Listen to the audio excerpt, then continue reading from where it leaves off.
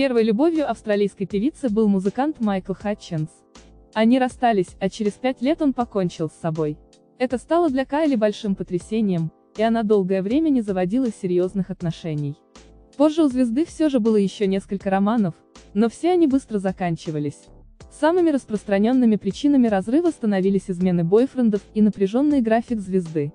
Расставания давались Кайли нелегко, поэтому она выбирает одиночество. Единственное, о чем сожалеет певица, что не завела детей, поэтому сейчас она всерьез задумывается о том, чтобы взять ребенка из приюта.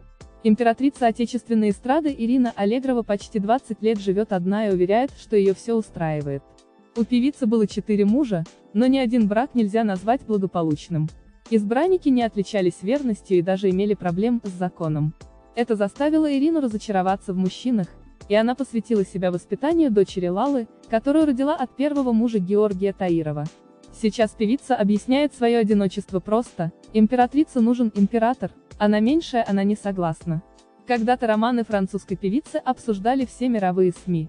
Ей приписывали отношения с Жераром Депардье, российским актером Андреем Соколовым и даже с самим Аленом Делоном.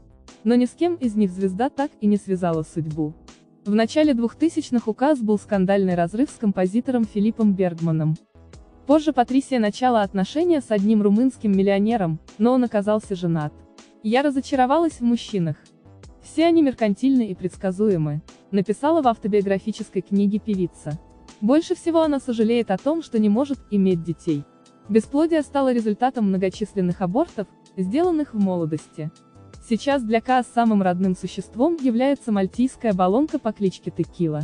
Личная жизнь Шарли Стерн в свое время была наполнена событиями. Актриса, которую боготворят мужчины всего мира, редко оставалась одна. В середине 1990-х Террен на протяжении двух лет встречалась с актером Крейгом Бирка. С 1997 по 2001 год звезду связывали близкие отношения с музыкантом Стивеном Дженкинсом. Со Стюартом Таунсендом Терра начала встречаться в 2002 году. Эта пара долго считалась одной из самых красивых и прочных в Голливуде. Однако влюбленные неожиданно расстались в начале 2010-го. Спустя четыре года Шарлиз закрутила роман с Шоном Пенном, но и эта связь ни к чему не привела. Сейчас актриса живет с двумя приемными детьми. В марте 2012 года она усыновила мальчика Джексона а в июле 2015 к семье присоединилась маленькая Августа. Актриса призналась, что дети всегда будут стоять для нее на первом месте. Так уж сложилось, что в жизни Софии Михайловны был всего один мужчина, которому она до сих пор хранит верность, муж артистки Анатолий Евдокименко. Когда певица только начинала карьеру, Анатолий заметил ее фотографию в журнале «Украина» и пригласил в ансамбль «Червона Рута».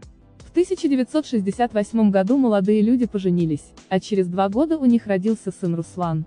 В лице мужа София обрела лучшего друга, наставника и учителя, их брак продлился более 30 лет. Когда в 2002 году супруг ушел из жизни, певица целый год носила траур и не принимала участия в светских мероприятиях. Сейчас СМИ приписывают ей романы, но близкие звезды уверены, в сердце Софии Михайловны было и всегда останется место только для одного человека. Текст Виктория Злобина фото, Geta Images, Persona Stars.